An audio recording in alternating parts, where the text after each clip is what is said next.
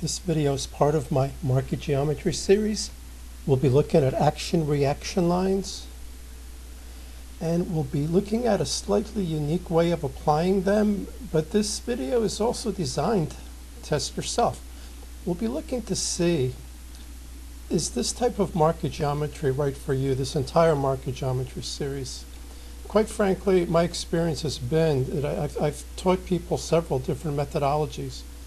Market geometry is probably the hardest, but at the same time, this is the most effective methodology of short-term swing trading, intermediate-term trading, not necessarily long-term trading. But you can apply this to day trading markets, markets that move fast, like crude oil, the Russell Mini, um, certain Forex markets when reports are coming out. Let's get started. Euro USD daily chart is loaded. This is the normal way. Oh, first of all, timing solution software. We'll be dealing with two icons here.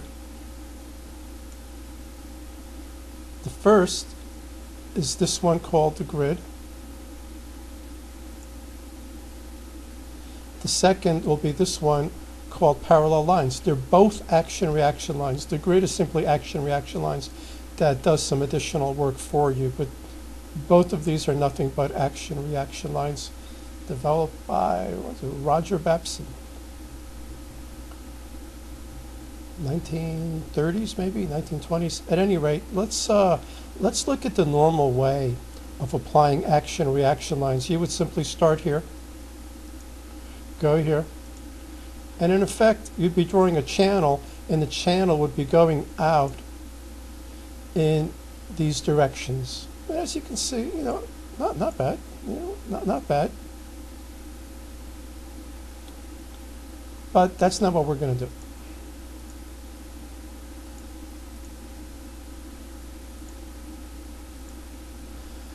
the way we do it, instead of connecting this to this, we connect this to this. And then we connect that.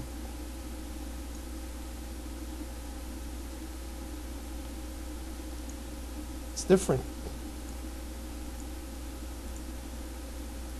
Let's let's look at the actual technique itself. We'll start now, you know, let's pretend this point right around here, red dot, is the current date.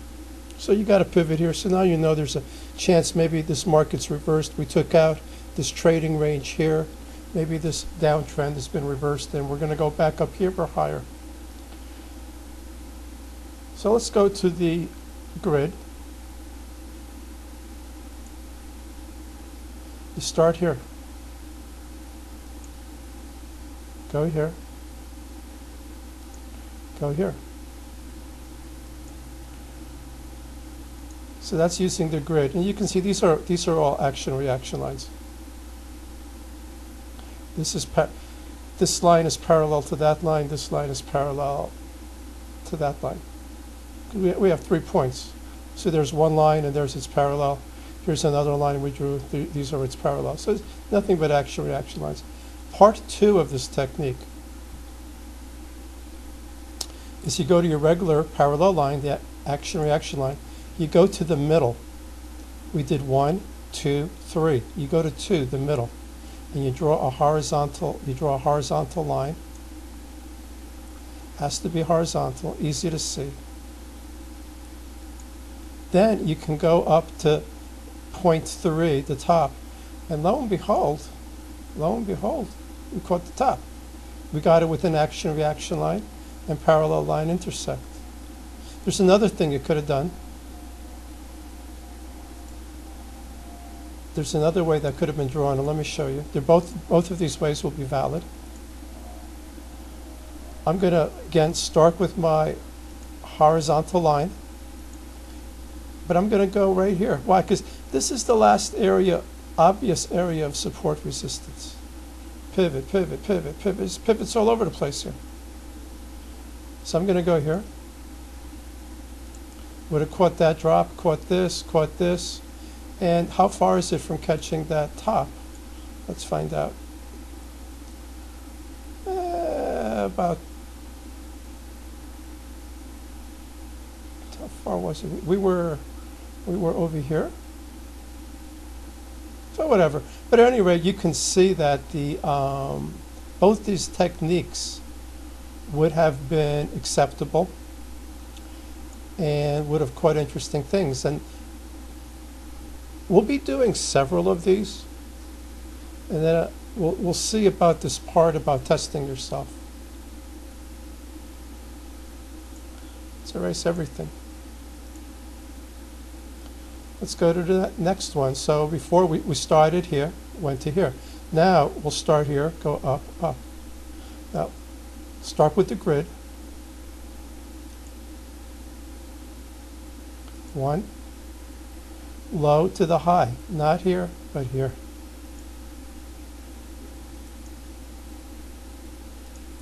Let's uh, expand this chart a little, easier to see. Like that. Action reaction line.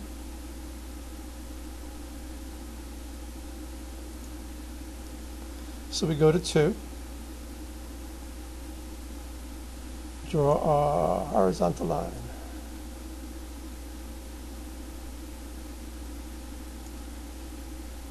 Go right here to three.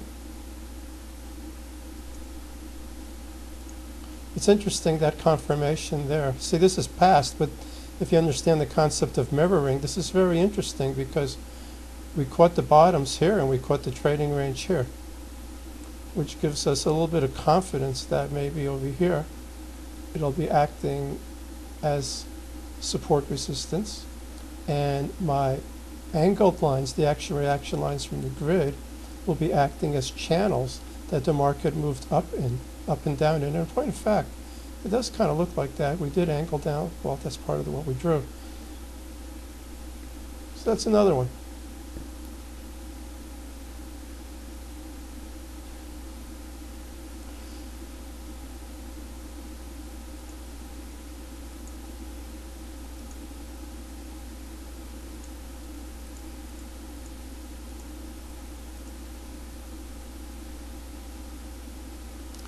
So we'll, next we'll start over here, go here, go down here with the grid. One, two, three.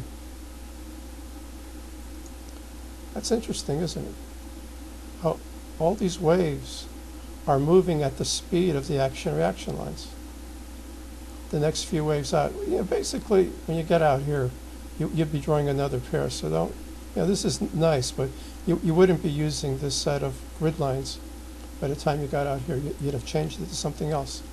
Let's draw our action reaction lines. We'll start at 2, point 2. Draw a horizontal line. And there's several ways to do this one. And that looks about right. Go down to 3. We'll just look at what this one looks like. See, that one's so far away, it may not be that practical. You can see it's catching stuff here. Let's see if it did anything else. Yeah, it sure as hell did. But um, that's pretty far away, and who knows if we'd be using this by then. You can also see it caught that top there. You know, so support here, break support, come back, test support becomes resistance, go back down to resistance. Anyway, um, the other way to have done this, I'll have to delete, delete this one.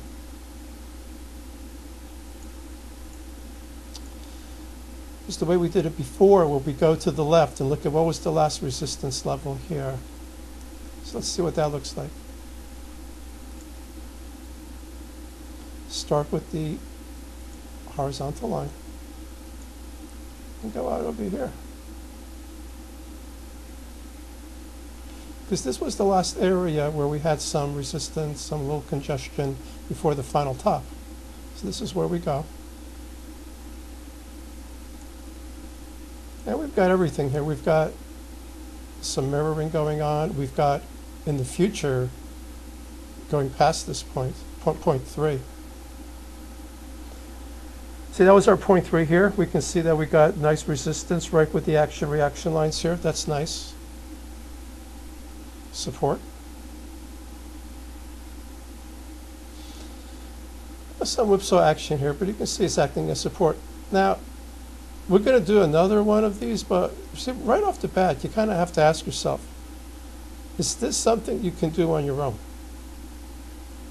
Because again, market geometry, from what I've found, less than half of the people who try this stuff, it's too frustrating for them. It's too much work. We we live in an age where you can draw so many technical indicators by going click, click. And now we've got these astro timing tools from my prior videos. You're basically, you know, when you first see them, you go, hey, that's different. But after you do them, like maybe 10 times, it's like, it's like any other technical indicator. Click, click, and there's my vertical line, there's my timer.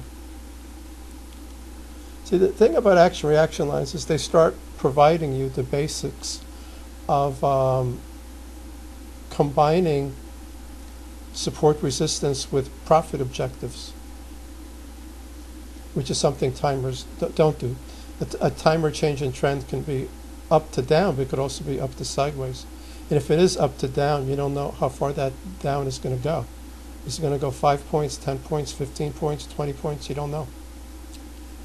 So you need something else.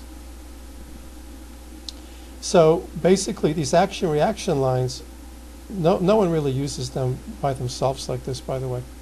You, you would use it with uh, tools like the pitchfork, Fibonacci expansions, things like that. And of course, the astro timers. And of course, you can also do, since this is timing solution, you have so many pre-made forecasts for you where you don't have to be a forecasting expert. You would simply run the pre-made forecasts. At any rate, let's do uh, one more.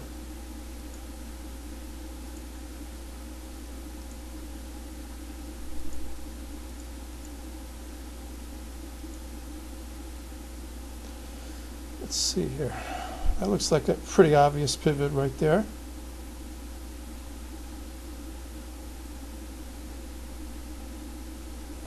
But this is kind of a one, two, we could try this, but this, to my eye, because, uh, you know, as a teaching aid, this would be better because we'll see if we can catch this. This, we'll, we'll, we'll try both. Start with the grid. Do one, two. So, this always catches my eye. You can see like one, two, three, but look how the market follows that. This is so common. If, if you're willing to practice with this on your own, you'll see it so often. You can see how the market traveled down that line, and then when it finally reversed, it traveled up this line. And that's what's special about action reaction lines. There's not too many other tools that can uh, do this.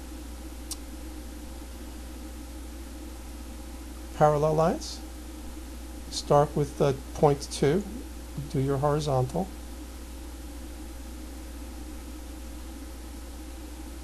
That looks horizontal. And, you know, as you can see right down here, we got that pick, we got a pick here, you know.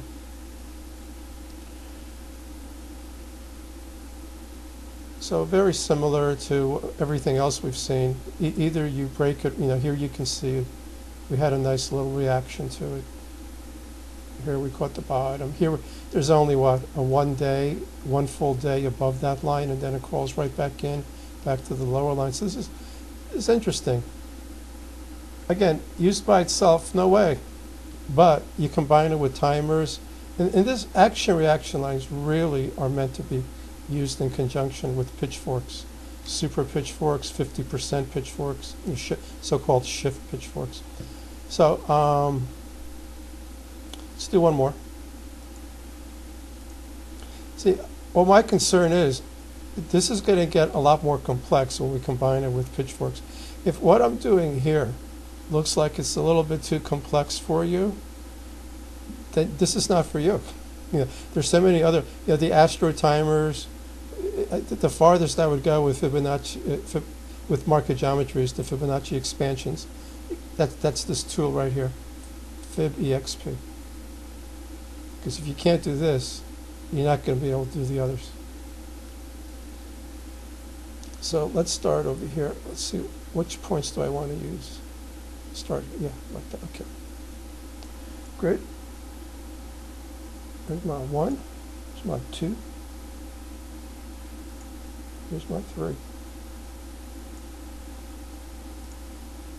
Right off the bat, right off, again, the second time in a row, I connect, you know, before we connected this to this to this, and we got this, and now we're connecting this to this to this, and we're still getting, you know, the market symmetry is absolutely amazing. See, here's, I guess what I'm trying to convey, because it's hard to sometimes verbalize. You know what you want to say, but you have to find the right words.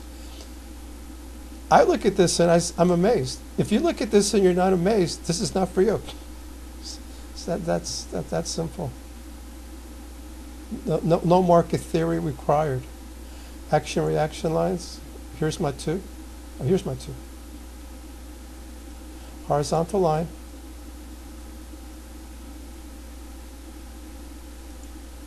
Go back up to three.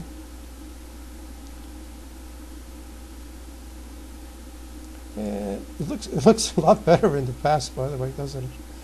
Caught that, caught that, just a couple days above here. But here, support then breaks down to the next one, reaction. That's not that bad, but not close enough. So this one doesn't look that great. It's only like one, two, two days, two days above that line. Then it crawls back in, screws around. What does it look like out here? That's so crazy, isn't it? But at any rate, um, what I would recommend you do is, is try to draw. I, I pretty much didn't write down rules for this on purpose. My, my idea as you're proceeding with the market geometry is because it's more difficult, you, you have to take notes and you have to practice.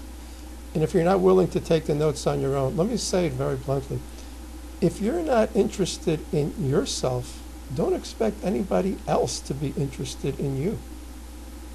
So at some point you have to take, when you enter in this realm of market geometry, it's far more accurate than anything else I've ever seen.